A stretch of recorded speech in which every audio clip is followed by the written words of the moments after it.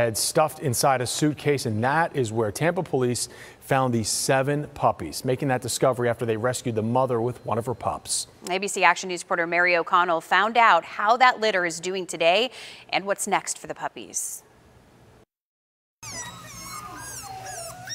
These puppies are being handled with care after a pair of Tampa police officers made a disturbing discovery this week.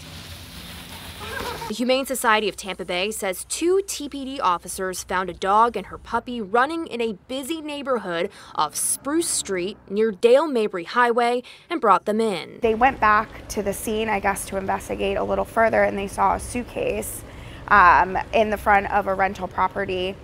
The suitcase actually had six puppies in it. Six puppies making whimpering noises inside this suitcase. Reagan Blessinger with the Humane Society tells me they've never seen anything like this before. We don't know the details of what happened and why they were put in there. It's just, it's awful. Um, we don't want people to do that. Tampa police said investigators with animal services will look into the case. In the meantime, the mom is resting while all seven puppies are being taken care of by Humane Society staff. The Humane Society thinks these puppies are about five weeks old, and as soon as they're old enough, they'll be up for adoption to a loving home. So sweet.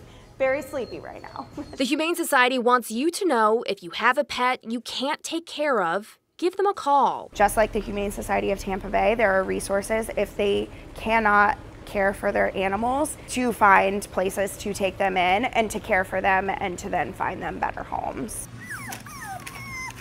For now, these pups are resting up until they're ready for a forever home. In Tampa, Mary O'Connell, ABC Action News.